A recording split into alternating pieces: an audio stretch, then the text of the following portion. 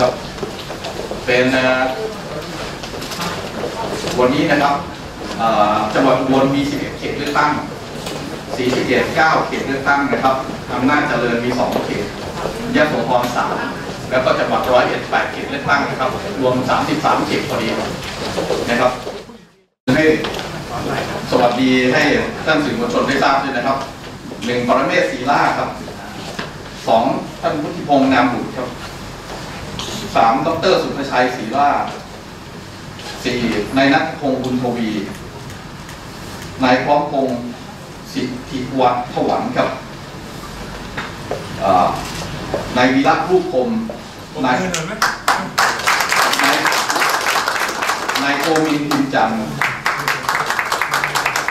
นายมงคลสุภาพสุข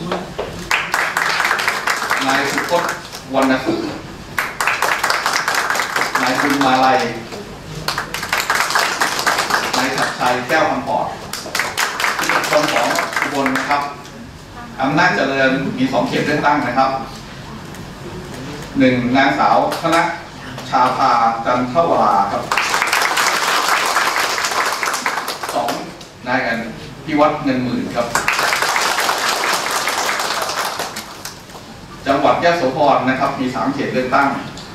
เขตที่หนึ่งครับ นางสาวสุสิริวิภาสมหวังเขตสองดรกรชัยยันอามไอ้สิรินามครับขอโทษ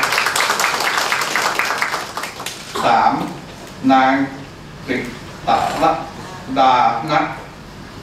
นะครับ วงจินดาจังหวัดศรีสะเกดนะครับ มีเก้าเขตเลือกตั้งนะครับหนึ่งดรปิ่น นันทเสนสองดรนครชัยโพขาวครับสามนายพิรวัตรคำศรีสี่นายปิยนันท์มั่นยืนยาวห้านายสวัสดิ์โพธิสันนายนิมิต กินาวัน นายร้อยพงศ์ศรีกลางตอนนี้เป็นวิเคราะห์ก่อนครับนายสุรเดชนาจำปาดรอภิชาติสิริบุญการจังหวัดสุดท้ายนะครับ จังหวัดร้อยเอ็ดมีแปดเขตเลือกตั้งครับหนึ่ง นางสาวนภาพรพวงช้อยเขตสองนายวิชัยเป็นชูสิทธิ์เขตสาม